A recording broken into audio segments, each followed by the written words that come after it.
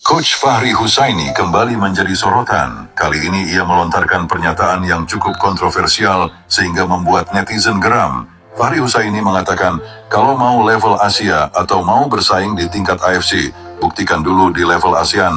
Harus juara dulu di Piala AFF, barulah bisa dikatakan level Asia. Netizen ramai menanggapi pernyataan ini dan seolah mempertanyakan kembali pada Fahri Bagaimana dengan Singapura yang sudah juara empat kali piala AFF? Apakah dia sudah level Asia? Pernyataan netizen ini tentu saja bukan tanpa alasan. Nyatanya Singapura belum pernah lolos piala Asia. Ya, bagaimana dengan Singapura yang sudah empat kali juara AFF tapi tidak pernah lolos ke piala Asia? Assalamualaikum warahmatullahi wabarakatuh. Salam salve. Om Swastiastu Namo Buddhaya. Salam kebajikan salam olahraga. Teman-teman, sebuah uh, pernyataan yang mengejutkan yang dilontarkan oleh Fahri Husaini yang mengatakan bahwa Indonesia harus bisa menjuarai Piala AFF baru bisa berbicara banyak di Piala Asia. Buktinya tanpa perlu juara Piala AFF, timnas kita bisa kok lolos sampai ke semifinal di bawah asuhan Coach Sintayong. Jadi boleh dikatakan bahwa pernyataan dari Fahri Hussein ini tidak bisa menjadi patokan bahwa dengan menjuari Piala AFF kita otomatis bisa berbicara banyak di Piala Asia. Jadi otomatis pernyataan si Fahri Hussein ini gugur. Coach Fahri Husaini bilang semua prestasi Sinteyong bersama timnas Indonesia baik di tim senior ataupun U23 itu biasa-biasa aja karena belum juara Piala AFF. Wow, lucu kali guys. Kok bisa-bisanya pelatih yang dulu pas jadi pemain timnas kabur dari TC bicara begini? Dan kok bisa-bisanya pelatih yang pernah bikin Persela Lamongan OTW Liga 3 bicara begini juga? Sinteyong memang belum pernah bawa pulang trofi apa pun, tapi di saat timnas terprosok jauh sampai kita sebut timnas zaman kegelapan, dari edisi Piala Asia Senior 2007 sampai 2020, pelatih lokal ke mana aja? Kok nggak bisa meloloskan timnas kita ke Piala Asia? Sejak Piala Asia U23 diadakan tahun 2013, kenapa baru di era Sinteyong, timnas Indonesia U23 baru bisa lolos, bahkan sekarang sampai ke semifinal dan babak playoff Olimpiade? Sebelum era Sinteyong, pelatih lokal ke mana aja sih? Ngapain aja? Kok bisa timnas kita sebobrok itu cuy? Jadi, jangan anggap prestasi pelatih lain itu biasa-biasa aja, kalau prestasi Anda sendiri juga nggak bagus-bagus banget. Ini perjuangan anak bangsa. Masa iya mantan pelatih timnas tapi meremehkan perjuangan timnasnya sendiri? Lagi pula, kenapa harus AFF yang dibanggakan? Apa karena Anda ini udah pernah juara AFF di timnas U16? Jadi AFF adalah patokan kehebatan seorang pelatih. Kalau gitu, biar juara Piala Dunia Inggris yang cuma satu kali itu nggak hebat dong, karena Inggris belum pernah menang Piala Eropa. Sangat masuk akal ya. Makanya saya bilang tadi, Menjuarai Piala AFF tidak menjamin untuk timnas kita bisa menjuarai Piala Asia. Bahkan Singapura saja yang sudah empat kali menjuarai Piala AFF belum pernah sekalipun masuk ke Piala Asia. Artinya tidak menjamin. Jadi sama halnya dengan Inggris yang pernah juara Piala Dunia, tapi belum pernah menjuarai Piala Eropa. Jujur saja, Bung Powell itu uh, salah satu uh, pengamat pengamat yang menurut saya sampai sejauh ini punya isi ya okay. isi hasil apa? pengamatannya itu berisi gitu yang lain bukan bukan hanya uh, ingin menyenang nyenangkan uh, orang ya okay. ya gak? nah ini yang kita butuh itu yang seperti ini gitu kadang-kadang kan ada yang yang pengamat saya melihat nggak ada isinya? Ada tuh? Uh, ada. Ya nggak ada isinya terus uh, memberikan komentar yang ya tapi seolah-olah tapi disukai orang gitu. Pernyataan dari Fahri Husain ini kira-kira ditujukan kepada siapa? Kalau melihat dari uh, perdebatan akhir-akhir ini, sepertinya dia uh, tujukan kepada Coach Justin. Teman-teman sadar nggak kenapa antara si Fahri Husaini dengan Towel ini bahu-membahu saling membela. Fahri Husaini membela si Towel, si Towel juga membela uh, Fahri Husaini? Ada apa? Saya berpandangan bahwa keakrapan atau kedekatan antara kedua orang ini pasti punya misi khusus, punya misi tertentu. Mungkin bacotannya si Towel, dia memuji Fahri Husaini agar Fahri Husaini bisa melatih tim nasional Indonesia yang senior kali ya. Begitupun sebaliknya, pujian yang dilontarkan oleh Fahri Husaini kepada si Towel agar si Towel ini bisa kembali bekerja di PSSI kali ya. Atau seperti apa? Halo semuanya, hmm, kali ini gue mau bahas sedikit-sedikit soal yang lagi damai nih, soal Bung ini, Bung bertopi ini, aka Coach Fahri Husaini. Sebelumnya gue disclaimer dikit aja ya, gue bukan siapa-siapa, gue cuma penggiat sepak bola aja. Di video ini kita bisa sedikit menyimpulkan kedekatannya Coach Fahri sama Bung Toel ya. Di video ini dia bilang kalau Bung Toel satu-satunya pandit yang masih objektif katanya. Buat yang pengen nonton fullnya nonton sendiri aja di Spotify kalau nggak salah nama channelnya. Ya di sini kita makin jelas ya bahwa ada kedekatan tertentu antara Coach Fahri sama Bung Toel. Ya contohnya di podcast ini ya di Sport 77 Bung Toel tuh ditanya sama Mamat sama Coach Ripan eh, siapa sosok yang cocok gantiin STY sekarang. Nah dia jawab yang punya integritas Fahri Husaini. Harusnya konspirasi ini makin kelihatan ya. Apa sih hubungannya mereka berdua dan kenapa mereka gitu banget sama Sintayong? Iya, seperti yang saya katakan tadi, memang konspirasi antara kedua orang ini semakin kelihatan. Kenapa mereka saling support antara satu dengan yang lain? Saya selalu berpikir bahwa dia adalah salah satu pelatih terbaik yang pernah ada di Indonesia karena tingkat level permainan dia mencapai itu paling tinggi antara semua dia di Piala Dunia di babak final Piala Dunia dan mampu mengalahkan Jerman yang waktu itu adalah juara dunia makanya saya rasa uh, dia adalah pelatih terbaik yang pernah injak kaki di timnas Indonesia ya. Ya, uh, maksud saya dalam level aku sudah bicara kualitas yang melatih atau apa enggak itu masing-masing subjektif karena masing-masing punya selera tapi dari kurikulumnya beliau adalah yang paling tinggi. Makanya beliau sudah di jalur yang benar sudah melakukan sebuah kemajuan yang sangat besar kalau mungkin orang sudah mengakui itu saya rasa karena faktor iri hati saja. Tapi sudah hati. sebuah kenyataan yang luar biasa ya. Saya rasa kalau kita eh, bicara bahwa oh kurang ini kurang itu pasti ada yang kurang tapi kalau kita melihat ke belakangnya Kalau orang yang tidak mengakui keberhasilan yang eh, sudah dibuat oleh Coach Sintayong, orang itu adalah orang yang sedang iri hati. Siapakah mereka? Mereka adalah si Towel. Siapakah mereka? Mereka adalah Henry Satrio. Siapakah mereka? Mereka adalah Fahri Husaini. Jadi saya sepakat apa yang dikatakan oleh Jackson Tiago bahwa secara level eh, untuk saat ini Coach Sintayong adalah pelatih yang dengan kualitasnya yang sangat baik ya jika dibandingkan dengan pelatih-pelatih timnas Indonesia sebelumnya. Coach Jackson Tiago tidak pernah merasa risih karena dia adalah salah satu mantan pelatih timnas Indonesia. Dia berani mengakui kehebatan dari Coach Sintayong. Tidak seperti Fahri Husaini hanya karena dia sudah pernah membawa Indonesia U16 juara Piala AFF, lalu dia merendahkan uh, Coach Sintayong. Itu sesuatu yang menurut saya adalah tipe manusia yang sombong atas keberhasilan yang dia miliki.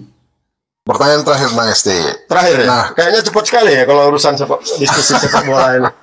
Coach, kontrak STY sudah diperpanjang hingga 2027. Nah, kira-kira apa yang harus dilakukan? STY tadi sudah disinggung sedikit, ya kan? Nanti dipertajam lagi. Nah, saya mau tanya, apakah Coach Fahri Husaini termasuk orang yang bisa menerima perpanjangan kontrak itu? Kalau ya, kenapa? Kalau tidak, kenapa? Kayaknya sih termasuk yang bisa menerima. Benar nggak, Coach? Oh ya, saya dengan kondisi sekarang ini ya eh, STY itu harus diperpanjang karena dia harus menyelesaikan semua Harus proyeknya lah. dia ini. Ya nggak? Bisa kebayang nggak kalau dia nggak diperpanjang, terus semua pemain itu rekrutan dia semua. Hmm. Iya, iya. Ya kan? Program naturalisasi juga eh, disetujui dia. Tiba-tiba datang pelatih baru lagi. Bisa terjadi seperti eh, Pak Hengso digantikan oleh Terus ya? Troyser nanti, ya kan? Akan Oke. jadi beban pelatih berikutnya. Nah sekarang nggak apa-apa. Kalau saya sih setuju aja. Hmm. ST diperpanjang tiga tahun. Oke, tinggal kita lihat nih tiga tahun ini seberapa. Anggaplah kemarin itu adalah empat tahun itu masa dia untuk penyesuaian. Ya, ya. Nah sekarang tahun kedua dia sampai berapa? Kat- Katakan misalnya sampai tahun berapa? 2027. 2027. Ya, berarti ada tiga tahun. Yes. Nah, tiga tahun ini kita lihat, kita lihat eh, capaian apa yang bisa diberikan oleh STY eh, untuk eh, Meraih bisa piala. bisa mendapatkan nilai excellent dari Oh. ya nggak? Yang Ya, tadi masih good, very good, terus excellent. ya, ya. Kalau very good mungkin eh, Dia very good kan B dia. dia ya dia bisa masuk ke misalnya ke Olimpiade misalnya ya kan? oh, itu very good. Ya, ya, ya. Eh, eh, kemudian masuk saja kan Kalau dia masuk semifinal U23 nanti masuk sudah masuk itu very very good. good, belum excellent. Ya, ya. excellentnya nanti di Olimpiade lah itu.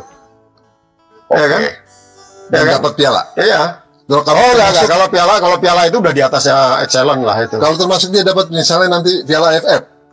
Oh itu excellent. Buat saya penting itu. AFF itu tetap penting, eh, Bung Yusuf ya. Karena eh, janganlah sekali-sekali menganggap AFF itu nggak penting. Apa eh, ciki. Ingat, jangan sekali-sekali menganggap AFF tidak penting. Karena kita Ini yang ngomong coach, Iya. mantan pemain, mantan kapten timnas. Ya, karena kita nggak pernah mendapatkan itu gitu. Kalau si game sudah pernah itu. Moral pernyataannya sangat kuat.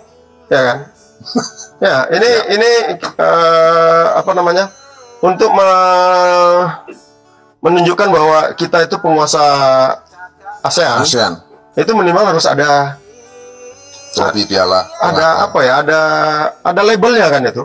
Terus kita mau Ya. ngaku-ngaku jadi yang yang harus dilumpuhkan ya Thailand Vietnam. nah itu memang. dia itu. Dua buyutan itu. Iya. Katakan Malaysia kita udah tinggal lah. Ya, yang ya, lainnya ya, ya. juga. Ya kan? Nah, ini yang kita tinggal tunggu di tiga tahun kedua ini. Fahri Husaini memberikan penilaian kepada Coach Sintayong.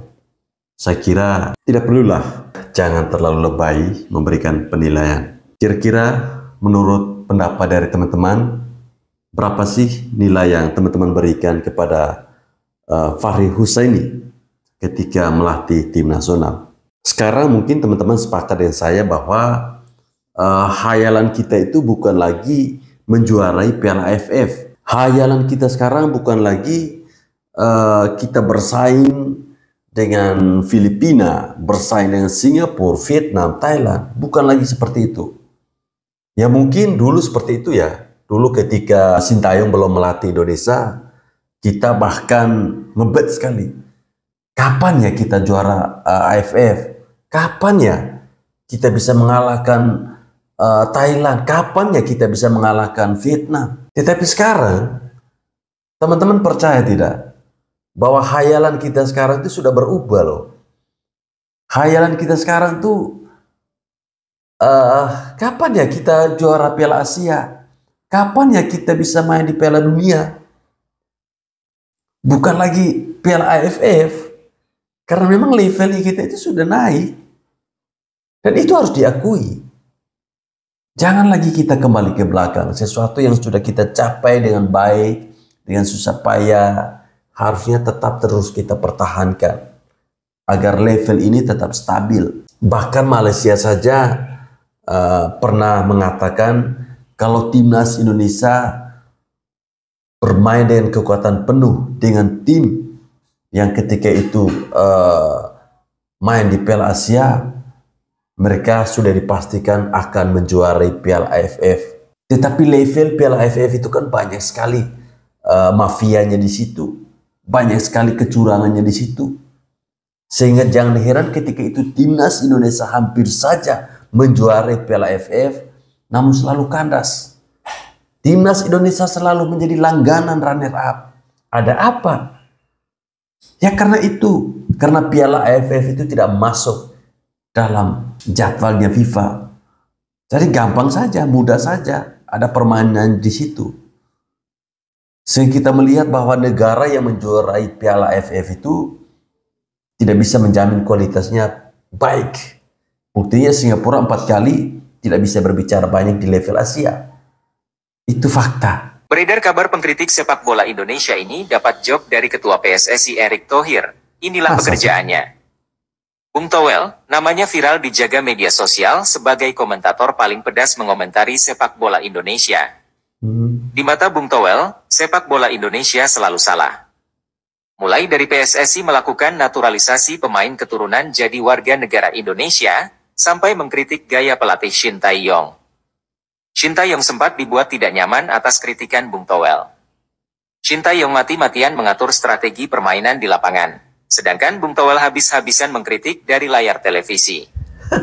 Bung Towel mendapat job dari PSSI menjadi asisten pelatih timnas Trevenia U17 mendampingi Wow. Luis Enrique sebagai kepala pelatih. Tugas Bung Towel mulai dari analisis pertandingan sampai pengembangan jangka panjang timnas Indonesia. Namun, hingga kini berita tersebut belum dipastikan kebenarannya.